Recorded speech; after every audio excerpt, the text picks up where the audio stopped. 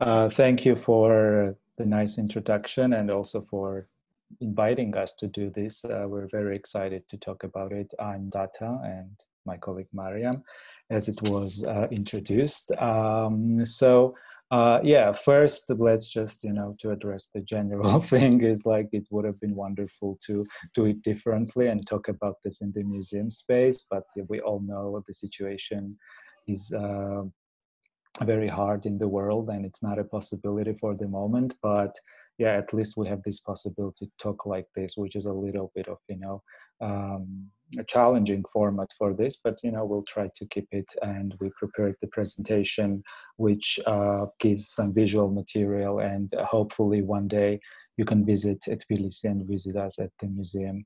Um, and we hope this, this can happen soon. Uh, we also shared uh, with you the virtual reality tour of the museum that we recently made. So uh, maybe you already had a look and have some understanding uh, how um, the space looks like, at least in the virtual reality. But yeah, physical experience is also something very different. Uh, we yeah. So when initially uh, we were asked to talk about textile and politics, uh, and in connection with the museum, we started to think what could be the directions that we could outline and talk about. And uh, since uh, Silk Museum, on the one hand, uh, is a very active museum that you know preserves its rich history and a lot of uh, activities uh, connected to the museum life. Uh, it also, on the other hand, uh, became a space that uses it uh, uses its experience to interpret uh, various topics through contemporary art and collaborate with a lot of people. So this uh, creates a very unique moment and a very interesting way of uh, continuing uh, uh, our work. And this is what we will be talking about today. In the beginning, we'll make a little bit of introduction, history, and overview about the museum, its collections, uh, the spaces, and then we will talk about a few uh, projects that we collaborated on or hosted on uh, that uh, for us connects to the museum and also shows a lot of different ways how you know like what social and political topics can emerge and uh, we can talk about through uh, silk, but not only material itself necessarily, but also a lot of things that are connected to its uh, production and as we will go. So because of this reason, uh, we would like to talk about textile more as a medium and focus on its presence in a more anthropological sense and see it in relation to human experience in time. So perhaps now it's good to talk a little bit about the history of the museum. Yeah, hello everyone. Uh, and I just um, want to continue like that. Uh, this is the archival um, photo uh, from uh, like and you see the museum facade here. And uh, as Nelly mentioned the museum founded in 1887 and it was a part of the Caucasian sericulture station. Um, it was founded by uh, Nikolai Shavrov as you hear um, several seconds ago. And uh, he was a scientist and biologist and he traveled a lot in Europe and used this uh, um, European experience let's say to develop sericulture in the Caucasian region. And um, the museum building itself was the main administrative building of the complex uh, and this whole complex was uh, located in Mushtadi Park uh, and there were uh, 23 different buildings with various functions. Uh, and, um, you, you, know, there were uh, some uh, laboratories, uh, like a dyeing laboratory, photo uh, laboratory, and uh, all of these um, Mm, laboratories were functioning for developing the um, sericulture in the region. Uh, and uh, the uh, station has the educational uh, role uh, and they have some practical uh, activities and also researching laboratory, mm, you know, different experiments dedicated to the silk production. Mm, and yeah, mm, the architect of the building, and I just want to uh, go to this uh, contemporary image uh, of the museum. As you see, it did not change a lot. And the architect of the building was Polish, Alexander Szymkiewicz. Uh, he was actually one of the famous architects who had an important role to shape Tbilisi 19th uh, century architecture, let's say. And um, as you uh, might be uh, mentioned, that uh, the building itself um, combines uh, different, uh, like let's say, ar uh, eclectic architectural style. it combines um, so-called Russian style, Gothic style, and also um, some of the elements of Islamic arts. and it's also remarkable to mention that in the interior design of the building, there are some details related to the sericulture, as you see in the picture, some butterflies, silkworms, and uh, the building itself has the cultural monument status since uh, 2006. So and here we are, this is the permanent exhibition hall. And as you see, these are old cabinets, so also designed by the architect. And um, as, uh, as as you see, uh, there are uh, lots of uh, different exponents inside the cabinets, and uh, there are actually uh, 40,000 uh, exponents from 50 different countries. And these are the exponents who, which collected from the expeditions, um, let's say in 1880s. Um, and uh, this is the library uh, hall which was originally uh, originally um, uh, was uh, like out from the authentic time uh, when the museum built uh, there was this library as well. And the book fund is very rich. Uh, we have uh, 20000 different books mm, also periodicals encyclopedies dictionaries. And all of these are the like about the sericulture for sure but some other fields of natural science. And yeah as you see the furniture is also from the original time and uh, here are some highlights uh, from our diverse collection. And uh, these, uh, some of them are like photo collection, containers, and uh, actually these are um, all different uh, thematics, but all uh, all of them are related to silk production.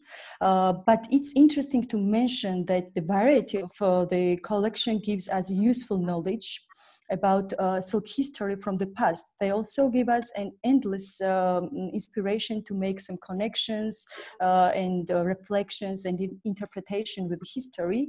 The uh, logic um, order and an authentic uh, scientific structure of the museum uh, space and display is valuable and delicately touchable to continue experiments uh, in a creative way. Uh, searching for metaphors, uh, finding alternatives, creating contemporary storytelling in a creative way um, and this gives uh, the museum possibility to function not only as a traditional institution, but also as a creative platform uh, which is open for uh, new ideas and experiments. It is also interesting to mention that this um, institution faced a lot of difficulties um, and controversial situations. Uh, what we uh, uh, when we talk about the sericulture station, the complex um, was active and worked actually until World War First. And then uh, in Soviet time, it retained its function as a research institute. And uh, at some point, it was also um, like um, um under the control of the uh, Agricultural Institute. And uh, during the urban development in the area, uh, in the 60s, the various buildings of the establishment started to gradually disappear. And unfortunately, only the uh, museum building and the former staff house is uh, existing now, but the staff house is privatized. Uh, but luckily, mm, during these controversial times, the museum survived without losing its identity identity. So yeah, um, if uh, you're interested to learn more about particular collections, uh, we encourage you to do this virtual tour that we made where we've provided the pins that give a little bit, I mean, that give information about the collections actually, and it's uh, publicly available on the internet for anyone who is interested and will be listening uh, to this lecture. The image that you see here, you will not find um, during that virtual tour because it's from the uh, collection uh, room of the museum, uh, but you'll find a, a lot of uh, information and uh, possibilities to explore the space yourself from home from the computer uh, yeah so uh, to to continue uh, we i mean because we have quite an international audience as we understand so uh, to give a little bit of also a historical overview of the situation and also some happenings connected to the museum that you know led to its current state is that the uh, silk uh, making uh, has a very rich uh, history in Georgia. Uh, in the 20th century, silk production on an industrial level was very active during the Soviet times. And uh, a lot of people across the country bred silkworms and sold cocoons to the industry. and there were two rather large silk factories in Tbilisi, in the capital. Uh, however, in the 90s, uh, which uh, came with a lot of difficulties and economical crisis, uh, a lot of industries, including that of silk, started to disappear. And it is also said that you know the industrial tools uh, they were more profitable as scrap metal than you know what they did. So mm. because of that situation today. Uh, despite all these rich traditions, Georgia doesn't have silk production on an industrial level. Uh, the research about sericulture continues in the academic spheres, and the museum keeps uh, the uh, rich history about uh, this and all the other processes related to that. But uh, yeah, that is the situation that you know there is no silk production that could find connection to this somehow. Uh, then, uh, uh, in, with regards of like uh, on the background of this, like with regards of the museum's life and uh, uh, it turning into a museum that it is today. Uh, in the 90s and early 2000s, uh, in 1997 and 2005, uh, Georgian Textile Group, GTG, uh, got engaged with the space and organized five uh, biennial international symposiums about textile in collaboration with the European Textile Network. So uh, this uh, helped somehow, you know, uh, and gave an opportunity to open up the space for public and, uh, you know, support the knowledge that was there and uh, to support the Silk Museum and making of the Silk Museum. Gradually, the Agricultural Institute uh, uh, left the building and it became a museum under the Ministry of Culture of Georgia. Uh, so uh, as we said, uh, while you know developing it as a silk museum and working on you know, preserving its knowledge, educational activities, it also started uh, from an early stage uh, to collaborate with a lot of local and international art professionals. And then um, the reason for that actually is that silk and generally sericulture, which is the core of the museum is a very wide discipline uh, that can find uh, you know connections to various fields and topics and it became a reference point or inspiration for a lot of artists and curators who work there so on this mm-hmm. image here you see uh, one of the uh, image from one of the exhibition uh, by Ninu Krivishvili and Mariam will tell about this project uh, later into more detail but also uh, there's uh, another image that we wanted to uh, show, which is from uh, another group exhibition called the Museum of Transformation. Uh, and what we would like to highlight is that when we are working on,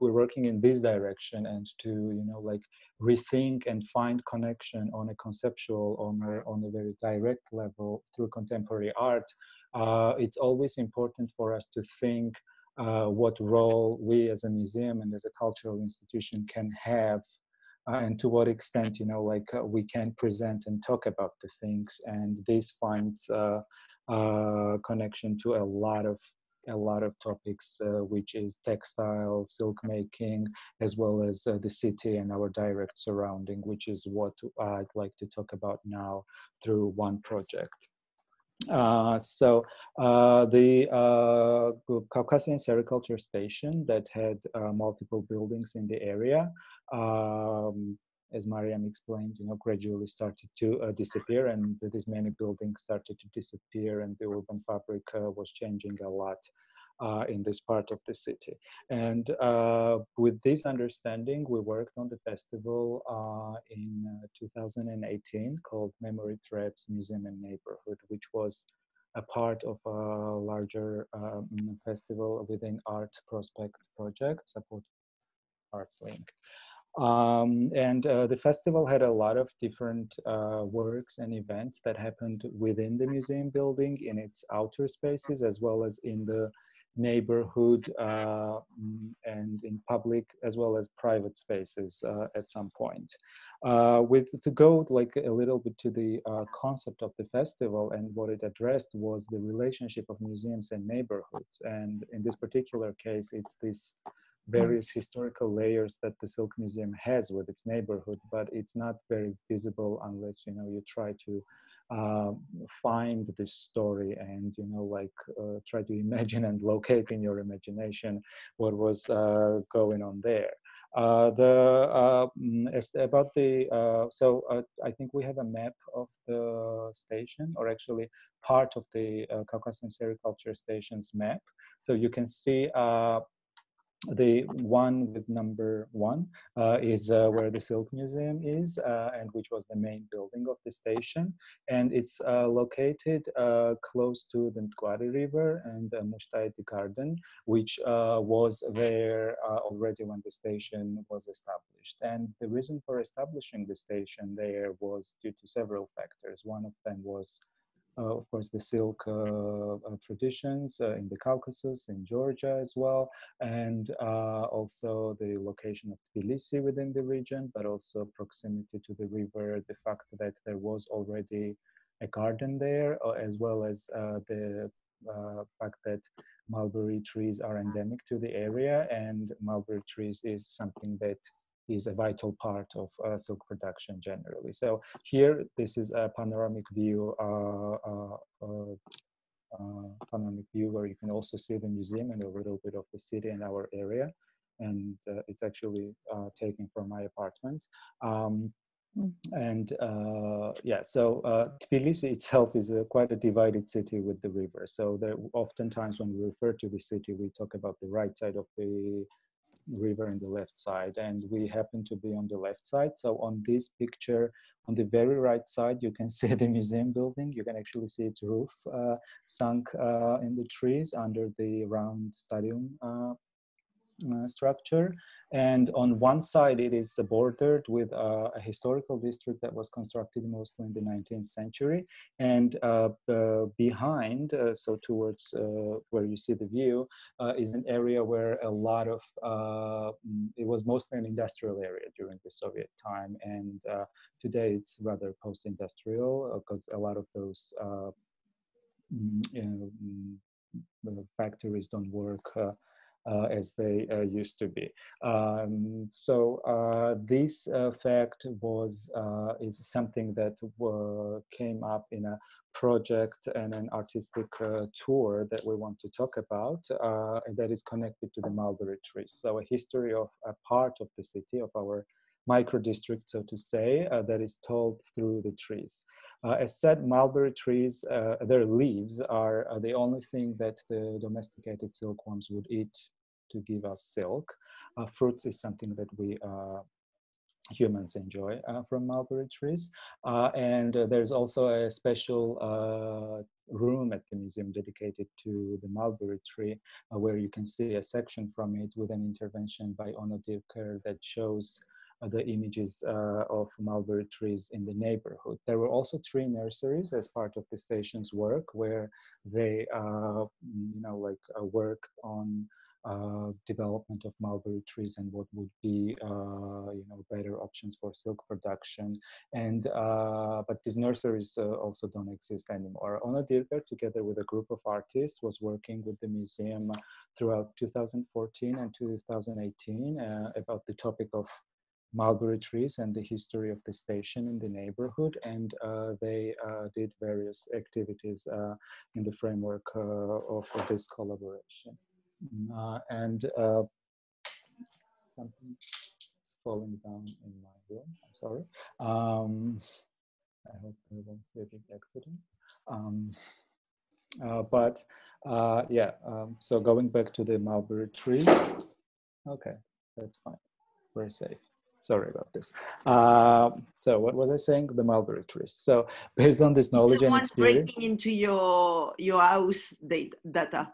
No, no, no. Just, just the shelf uh, kind of fell down or something, but it's fine. It's safe. Sorry. Um, uh, yeah.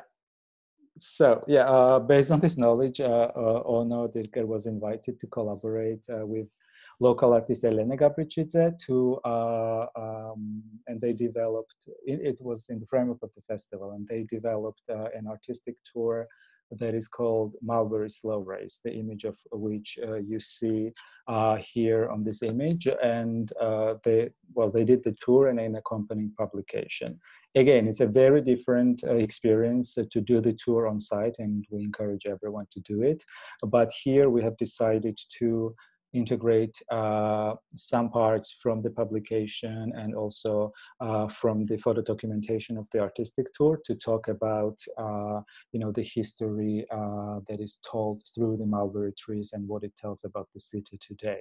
Uh, here i'd like to so the in the beginning of the publication we find introduction and this history of the station and how the change of power was influencing the development uh, of this research uh, institute, but also uh, the uh, area that it was occupying. And I'd like to refer to one paragraph from this introduction, which you can follow on the text, which reads as follows. Our gaze now focuses on the remains of the research complex, as well as on the current state of the area outside the walls of this museum. The walk, which this publication presents, is an exploration of the former territory of this renowned place. It is a slow race, given the time span of successive developments that came together and perhaps history becomes somewhat visible during the walk. In this artistic tour, Fragments of History, different material and experiences offer subjective encounters with various layers of the area. It will lead you along some trees from the mulberry family in the neighborhood to places that reveal something about its history. With a little bit of imagination, you could consider this walk to be a time travel. So let's try to imagine how this works as a time travel and refer to some parts of the tour. Uh, this is a map how it follows uh, uh, certain mulberry trees as stage. ძალიან ცნობილი ამბავი, ძალიან ბევრი ამბობდა მაგაზე. დავით მაგალითად თავიდან მე არ დადიოდა 12 წუთი ხით მოვიდა 2 საათი. Some sound is coming. ინფორმაციები ქონდა მაშინ. I thought he was coming from your. აიდან. იცოდა. მაგათიდან შიდა ვიღაცასთან Georgian, Georgian speaking, yeah. but I don't know who. Yeah, it was from one of our uh, researcher, Anna. Ah, okay. She's Georgian. She's from Siberia as well. okay. Okay. Um, I've just Yeah, but- printed it. It's fine. Don't worry. okay. So back back to the tour. Um, yeah. Uh, so yeah, here you see like each tree is some kind of like a station where you stop and learn about uh, particularities of that area and also about the trees. Um, and it follows. It starts in front of the museum, but it starts uh, at a mulberry tree, and then it goes across the street to the um, neighboring house, which is uh, also was part of the station, uh, employees' house that Mariam mentioned, which today is in uh, private ownership uh, of apartment uh, of apartments, and uh, it's altered, but you can, I mean, it still finds resemblance with its original form from the archival photos. And if you pay attention, you can find that there is similarity between the two buildings. Uh, but these are the only two buildings that remain uh, from the station. So afterwards, it goes to uh, the Mushtahid Garden, um, where we learn a lot about the story, uh, stories, histories, and legends that are associated uh, with uh, the garden. Um, I think we have some photos of that. Or Oh, so Uh, it's close to the uh, movement theater, no? Yeah, yeah, yeah. Yeah, the yeah, yeah. Movement Theater is also you in have the neighborhood, and the nightclub Bassiani is just in front of that, isn't it? it's it's all one neighborhood basically. Yeah. Okay, because we had a presentation from Bassiani's nightclub, and we had a presentation from the Movement Theater as well. So we were supposed to do all of that. We had a, a, also a visit with an iPhone around CBD, around this area. So we actually walked through this park before. Mm. That's nice. That, that's that's good. And so we're basically in between the two. Uh, so if you had come, you would basically be in the same area most of the time if you visited these places. Uh, then uh, with the tour, like during the tour, uh, it also went up to uh, the residential building that you can actually see on the back uh, in the back of this photo, and it overlooked uh, basically the panoramic view that we had before.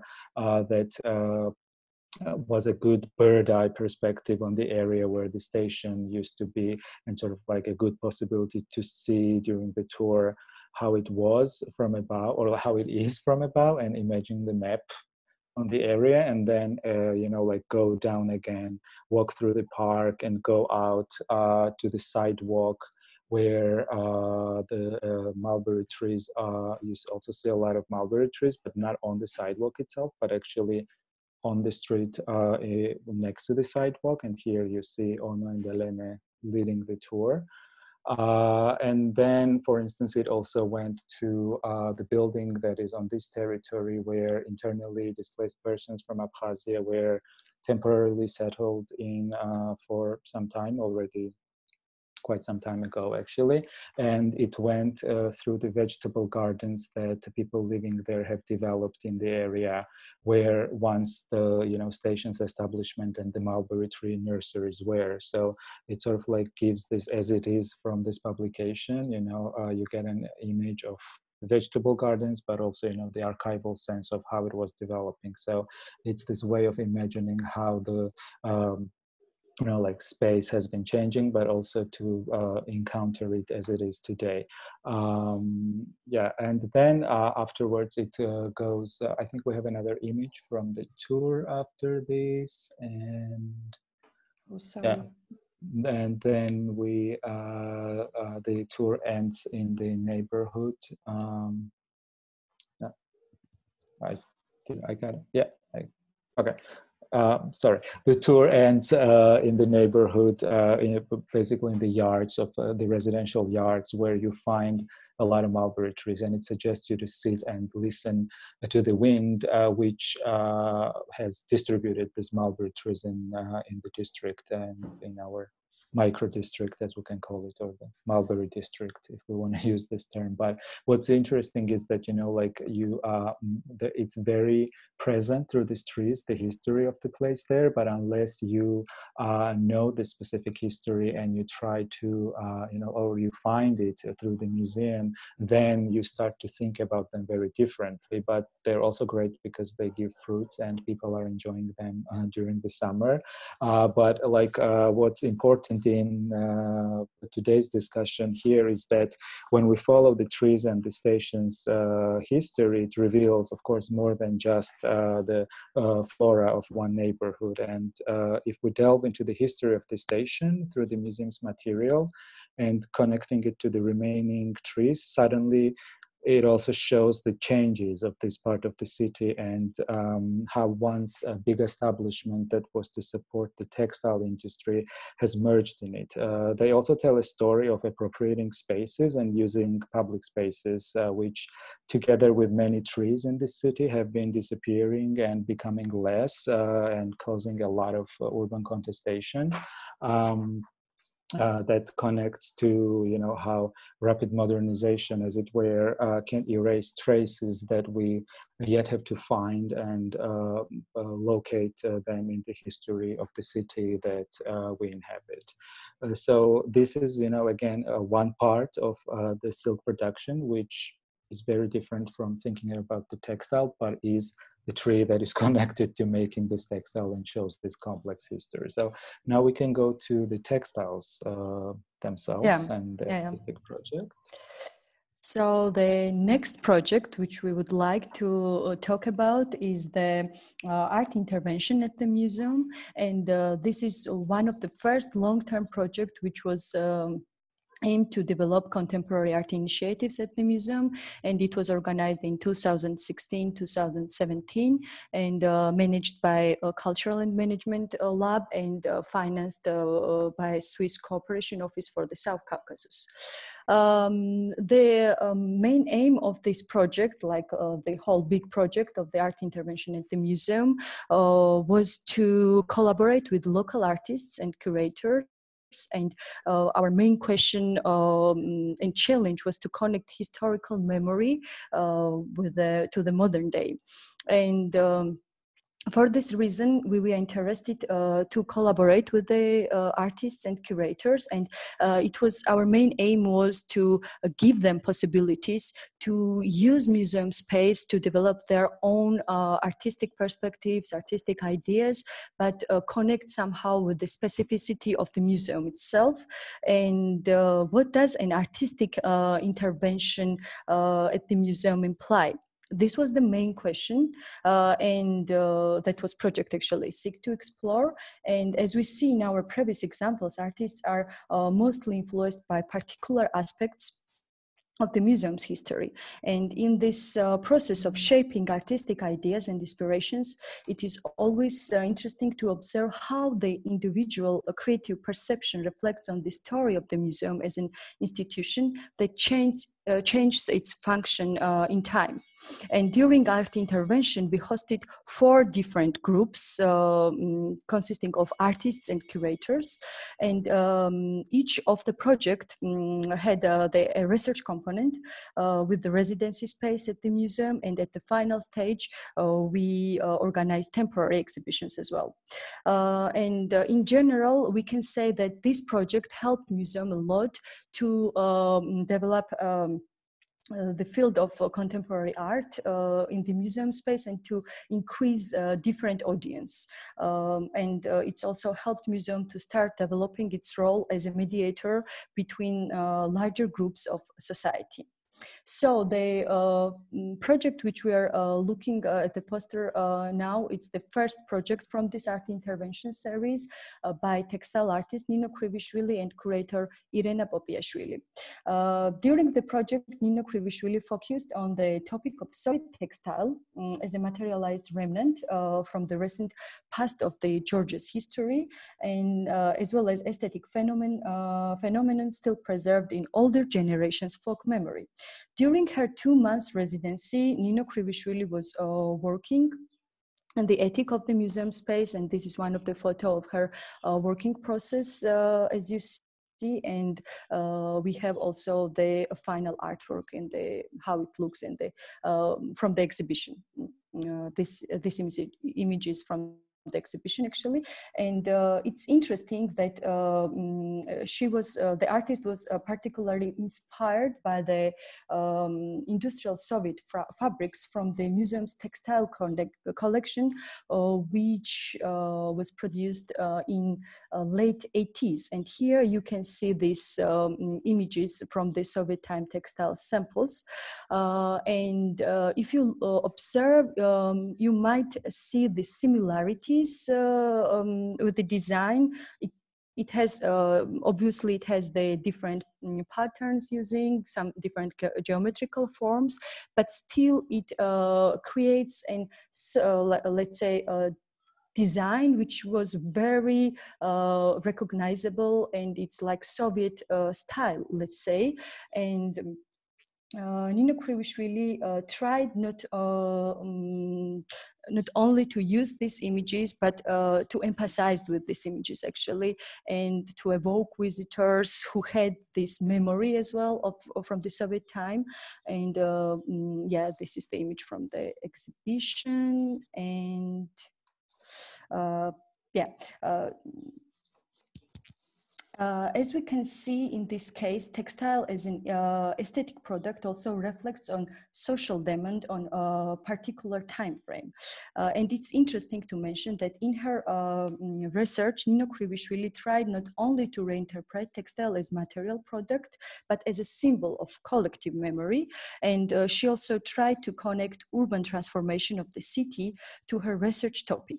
Uh, actually, these are the photos uh, mm, from some like photo documentations and what the artist tried that she um, uh, she uh, identified exact places of the former textile shops and uh, mm, marked them with her exhibition posters, uh, as you see. Uh, and uh, as Data mentioned, this fact somehow accentuate this fast modernization of the city, which is happened in Tbilisi recently. And um, yeah, sometimes the, this banner somehow accentuate the current careless attitudes towards our recent past uh, which is usually preferred to destroy or to hide somehow. Uh, and such an inappropriate solution of the urban space became important for, uh, fact for Nino Kvrivishvili. Uh, and uh, in also in general, we can say that in, collabor- in collaboration with curator Irina Popiashvili, Nino Kvrivishvili tried to um, try to represent the historical fact of producing textiles from the distance of time and from the artistic perspective. Uh, she combined the textiles uh, with unused secondary uh, objects from the museum and created new works. And uh, these uh, artworks try to reflect collective memory and to connect two important places of the city. And uh, uh, this idea was declared um, in the exhibition title uh, as well, like Soviet Rainbow from the textile shop to museum. And yeah, here you see also some of the photos from her exhibition in 2016. Uh, right. Shall I continue with the other projects then? Uh, yeah. So, yeah. Uh, yeah, when we talk about, uh, you know, uh, researching and working around silk industry and the textiles during the Soviet times, uh, it uh, reveals a number of topics, which is, you know, it's memory in the everyday, but also in the collective. Uh, and it's uh, also the topics such as gender and labor and uh, many, many more that, you know, like can be reflected upon and can be interpreted artistically very differently. So uh, that uh, time period and the research and uh, of silk industry and production uh, in Georgia was the topic uh, that uh, uh, Tatiana Fyodorova, artist from Moldova, worked on during her residency at the museum in 2018. And uh, she also uh, worked uh, and did a summer school together with local artists on the topic and creative, creation of artist books. So it was all presented at the exhibition called Breathe. Um, uh, that showed the research findings and the artistic books uh, that were created. Uh, Tatiana created several artistic books under the project called the Nusquam that uh, researches and rethinks the Soviet history, uh, which is generally the topic that she deals with uh, in her um, art and uh, often from a personal uh, perspective as well. And we'd like to concentrate on one art book here, which you can see here on the exhibition view, the accordion style uh, book uh, called In Search of the Body of the textile industry. Uh, the museum's uh, publication collection, as we said, includes a lot of different material, and uh, it also has uh, the magazines called uh, Textile Industry.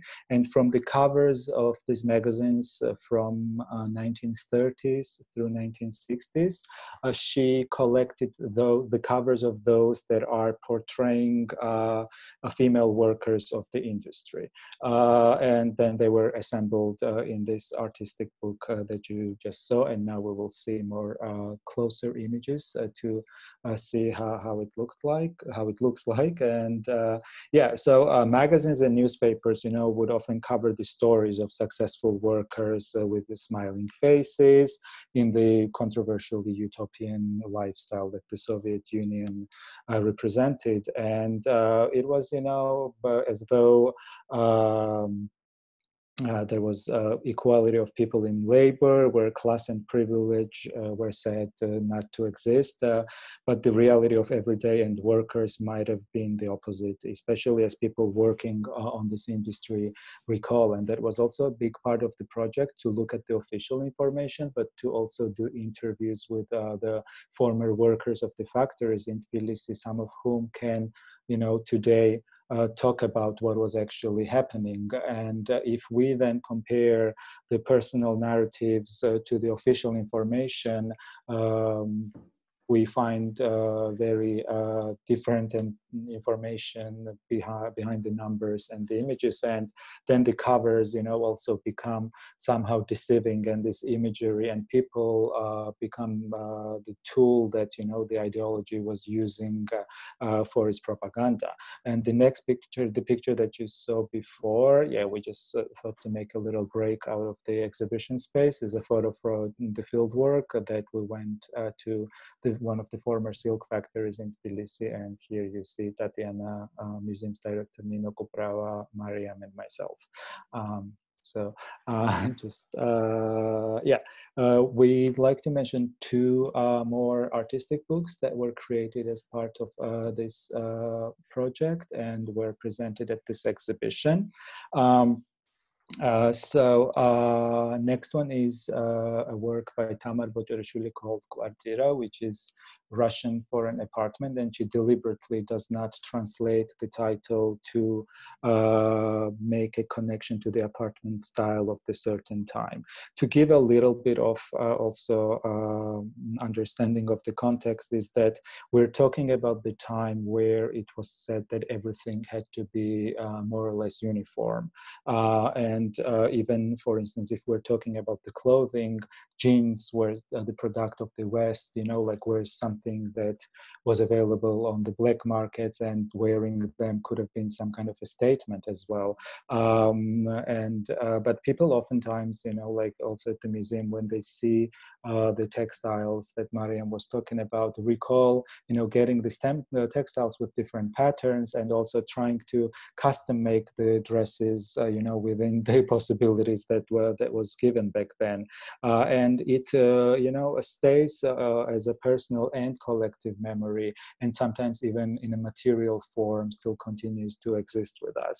Uh, the textiles that we were talking about, the uh, industrial silk textiles, they there were those that were used for clothing, and uh, there are also those that were used for interior decoration, which is what uh, finds connection to uh, this uh, book and artist book that Tamar worked on. And she tried to, record, so by opening uh, this book, uh, we find a micro world, an apartment that is reconstruction based on personal memories, uh, family photographs, and a lot of different material, including, you know, the textile in the uh, interior to emphasize the interior design that despite intensive unification uh, evokes memories of home and mm, attempted individuality that was uh, created by people in it and uh, which in material form or just as a memory still exists and needs attention for rethinking this part of the history. Uh, then we go to another uh, artist book that uh, is created by Naili Vakhania called Silk Factory uh, infinity sign and this is also uh, mm, the direction how a silkworm moves. So if you you know imagine like this to uh, view the cocoon around itself uh, that it transforms inside afterwards. Uh, uh, through researching the textile industry in georgia from the 20th century on the book also deals with the memory on a personal and collective level and she places the life stages of silkworm in parallel to silk production in Georgia from Soviet time till today. Uh, to uh, give uh, general information about the life stages of silkworm is that uh, uh, from an egg, it uh, then comes the silkworm that grows, and then it is a pupa that it is in the cocoon that it has spun around itself, and then it transforms to a moth that gives egg uh, in case when you know they are let out uh, from the cocoons.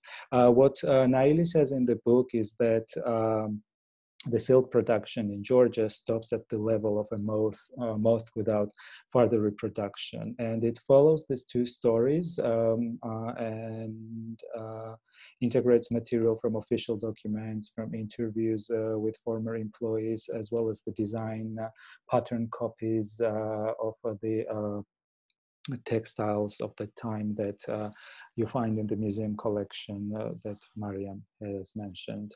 Uh, and then it comes up until a recent big achievement uh, uh, of silk in Georgia, uh, also rather ironically, which is that in 2018, Georgian silk became an intangible cultural heritage of the country uh, in times when its production is uh, basically non-existent here. Uh, so despite that, the long history is kept uh, with vast material that today gives us an opportunity to revisit various aspects of the history and build on this knowledge as we've been illustrating on the examples we've been talking. And there's one more we'd like to present and then we can have questions. So uh, the final case that we would like to talk uh, today uh, is the exhibition, the book uh, of patterns by visual artist Tamuna Jabashvili. This is her individual um, project based on Jabashvili's long, long-term project, um, research project about the gender topics. And the museum hosted this exhibition in uh, 2016 uh, in March. and she has been working on gender topics um, and expressing it through textile in her practice as well. And for example, this is one of her uh, earliest earlier projects, Supra of her own, uh, which uh, mm, uh she, she was um, actually working with the anthropologist Agnieszka Dudrak. Uh, and um, this project also concerned the topic of domestic violence uh, against women and had, um, had multiple components, including an installation and uh, imagined apartment partitioned by used tablecloths bearing the stories that women uh, had shared. Uh, so if you're interested, you uh, later you can uh, see the link and detailed information about that project. But for now, uh, we are focusing of this exhibition, the Book of Patterns. Um, and actually this um, project uh, finds interesting connection to the local textile traditions and current uh, gender topics.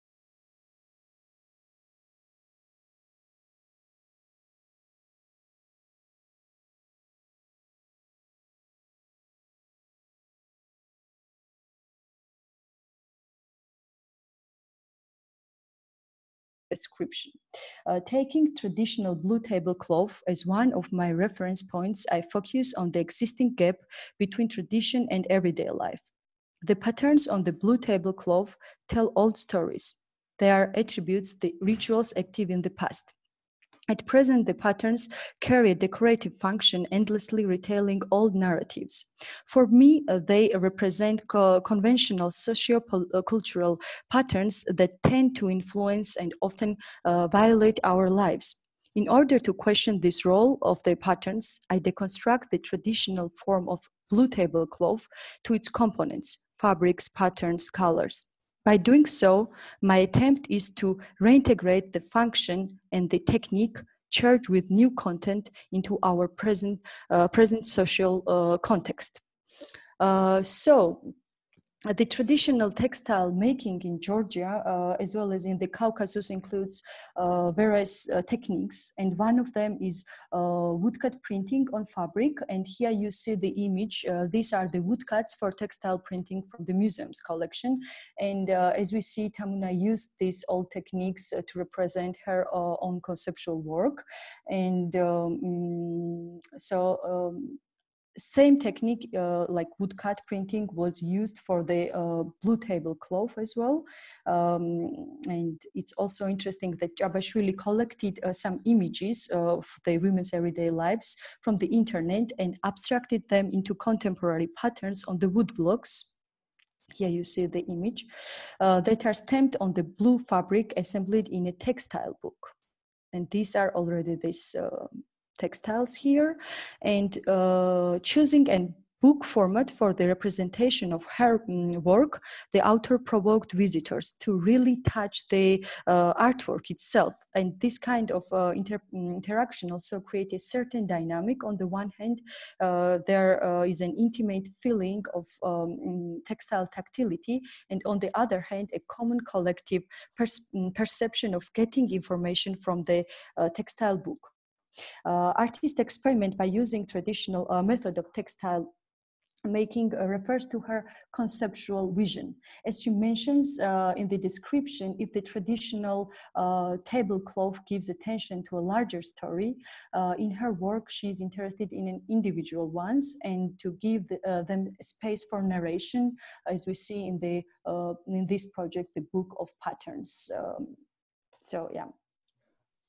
So yeah, just to sum up, you know, if uh, yeah, like following this discussion gives us a possibility to somehow travel with the textile through different times and reflect on diverse social and political topics that are connected to its production and related processes. So going beyond just the fabric and its design and integrating its production story and larger narratives uh, can allow us to uh, talk on the topics of uh, memory, ideology, transformation and a lot of paradoxes in it connection of places and different times gender personal experience urban space and many many more. Uh, we